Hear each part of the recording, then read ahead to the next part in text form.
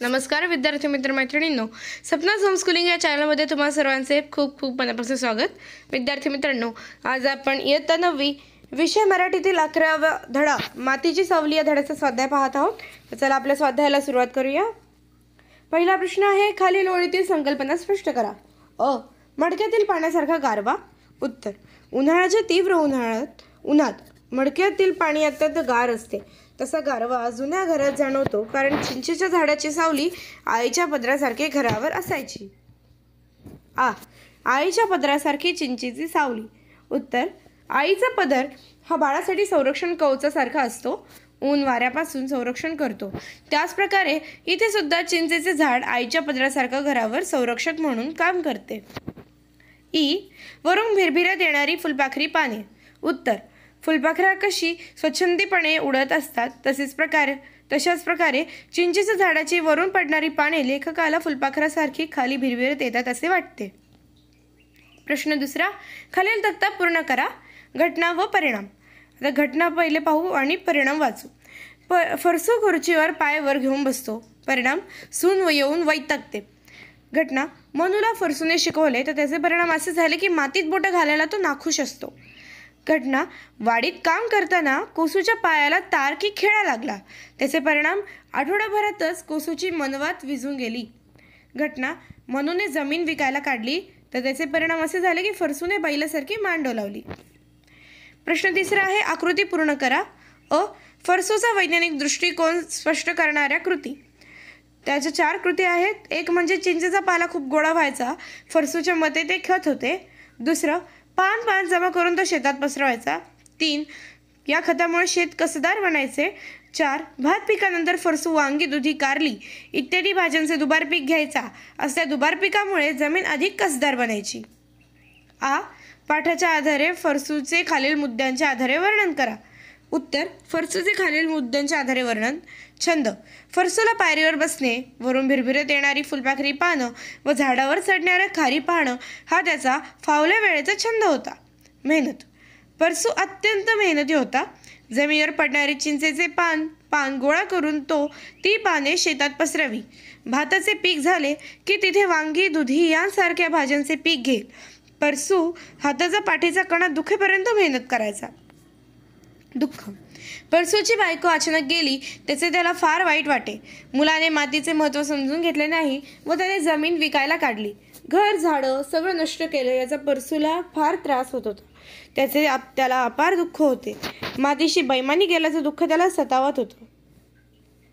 माणूस पण परसूने त्याच्या दीड एकराच्या शेतावर तीन पोरींची लग्न करून चौथ्या पोराला शिकवलं. त्याच्यामध्ये कोणत्या काम कोणाच्या कामात खोडा घातला तर त्याच्या नशिबाची वाळू होते असे त्याला वाटते. तेव्हा त्याला बाप जाद्यांची कमाई जपायची त्याची इच्छा होती. तो घरातल्या औंदरांचे सुद्धा पोट भरल का याचा विचार करायचा. प्रश्न चौथा ओघ तट्टा पूर्ण करा. मनूची आई प्रार्थना करायची. एक सुरात प्रार्थना झाल्यावर जेवण व्हायचे. जेवता जेवता मनू बहिणीशी मस्ती करायचा आणि घासागणित पोटात माया उतरायची. प्रश्न पाचवा खालील वाक्य प्रमाण भाषेत लिहा. अ आमचा जन्म या मातीत गेला म्हणून थोडं वाईट वाटते. उत्तर आमचा जन्म या मातीत गेला म्हणून थोडं वाईट वाटतंय. आ त्यांचीच पुण्याई ही बावडी नाही नदी हय नदी. उत्तर त्यांचीच पुण्याई ही विहीर नाही नदी आहे नदी. प्रश्न सहावा खालील वाक्प्रचारांचा योग्य अर्थ शोधावं लिहा. अ टकळी चालवणे. तर टकळी चालवण्याचा अर्थ काय होतो? सतत बोलणे. नाळ तुटणे. उत्तर संबंध न राहणे. प्रश्न सातवा खालील अर्थांची वाक्य पाठातून शोधून लिहा. फरसूने आपल्या वडिलांचे ऋण दर्शविले. उत्तर फरसू म्हणायचा बाप जाद्यांची कमाई रे पोरांनो त्यांचीच पुण्य ही बावडी नाही. नदी हाय नदी. आ फरसूचा संसार होत्याचा नव्हता झाला. उत्तर तरारून वाढलेल्या गुबगुबीत केळीचं अख्खं बन पाऊस वाऱ्यात जमिनीवर झोपावं. फरसूचं झाडांवरील प्रेम. उत्तर पोरा झाडं जंगली नसतात रे कवा. आपण माणसंच जंगली. कुऱ्हाडे घेऊन झाडं कापणारी आपण माणसंच जंगली रे म्हणू प्रश्न आठवा स्वमत. अ. मातीशी नाळा तुटली की माणूस पण तरी कसे राहणार? या फरसूच्या विधानाशी तुम्ही सहमत असल्यास त्याची कारणे सोदाहरण लिहा.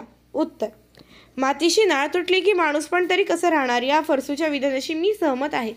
माणूस पण म्हणजे आपल्या सोबतच असले आपल्या सभोवतालचा सुद्धा बारकाईने विचार करणे. प्रस्तुत पाठात मातीची नाळ म्हणजे आपल्या आईसोबत बाळाची जी शारीरिक भावनिक जवळीक असते तशीच जवळीक या पाठात फरसू या शेतकऱ्याची आपल्या जमिनीविषयी आहे. त्यासाठी ती नुसती जमीन नाही आहे तर तेथील झाडं पानं फुलं उंदीर व पक्षी या सगळ्यांचाच तो माणूस म्हणून विचार करतोय. परंतु त्याचा मुलगा याला मात्र मातीला हात लावायला सुद्धा आवडत नाही. त्यामुळे त्याने सहजपणे जमीन बिल्डरला विकून टाकली व स्वतः आलिशान बंगल्यात राहतोय. तिथे तुटलेल्या झाडांविषयी बागायती जमीन नष्ट झाल्या त्याविषयी त्याला काहीच वाईट वाटत नाही आहे म्हणून उद्वेगाने फरसू हे वाक्य इथे म्हणतोय. आ पाठात व्यक्त झालेल्या फरसूच्या विचारांबाबत तुमचे मत स्पष्ट करा. उत्तर फरसू हा कष्टाळू गरीब शेतकरी होता. त्याला शेवटच्या श्वासापर्यंत जमिनीची सेवा करायची होती. झाडाझुडपांना जपायचं होतं. मातीशी इमान ठेवायचं होतं. परंतु त्याच्या वार्धक्यामुळे त्याला मुलापुढे व त्याच्या निर्णयापुढे काहीच करता आले नाही. त्याच्या डोळ्यासमोर त्याची बागायती जमीन व झुडपे नष्ट झाली आणि हे सर्व तो असहाय्य होऊन बघत राहिला. आपण मातीशी बेईमानी केली याचा शल्य त्याला सारखं त्रास देतो. आता मातीचा शाप आपल्याला भोगावा लागणार असं त्याला वाटतं. ज्याचं संपूर्ण आयुष्य शेती करण्यात गेलं आपल्या जमिनीवर झाडावर प्रेम करण्यात गेलं आहे. अशा शेतकऱ्यांचं अगदी खरं खरं मनोगत आपल्याला दिसते. फरसूला जो त्रास होतोय त्याला चुकीचे वागल्यासारखं वाटतंय. त्याच्या मदशी मी पूर्णपणे सहमत आहे. सध्याच्या काळात फक्त जमिनी विकून पैसा करायचा आणि मोठी मोठी घरं बांधून तो पैसा उडून द्यायचा असे चालू आहे. असं केल्यास शेती करण्यासाठी जमीनसुद्धा शिल्लक राहणार नाही व आपल्या पुढच्या पिढींसाठी आपण काही शिल्लक ठेवणार नाही. अशामुळे सर्व संसाधने नष्ट होतील पुढच्या पिढ्यांसाठी ही सर्व संसाधने जपून ठेवणे आवश्यक आहे. प्रश्न तिसरा मातीची सावली या पाठाच्या शीर्षकाची समर्पकता तुमच्या शब्दात लिहा. उत्तर मातीची सावली हे शीर्षक अतिशय समर्पकरित्या दिलेले आहे. प्रस्तुत पाठात काही शेतकऱ्यांची मुलं बिल्डरला जाळ्यात अडकवून व मोहाला बळी पडून आपल्या जमिनी विकत आहेत. आपल्याला मातीतील पिकं झाडं झुडपं नष्ट करत आहोत. हे या पाठामध्ये चित्रण मांडले आहे. वर्षानुवर्ष जमीन कसणारा शेतकरी व आपल्या शेताविषयी कसलेही प्रेम नसणारा त्याचा मुलगा यांच्यातील फरक इथे प्रकर्षाने मांडला आहे. तर विद्यार्थी मित्रांनो अशा प्रकारे आपला स्वाध्याय पूर्ण करून झालेला आहे. जर हा व्हिडिओ तुम्हाला आवडला असेल तर लाईक करा शेअर करा कमेंट करा आणि सपना होमस्कूलिंग चॅनलला सबस्क्राईब करा. भेटूया नेक्स्ट व्हिडिओमध्ये.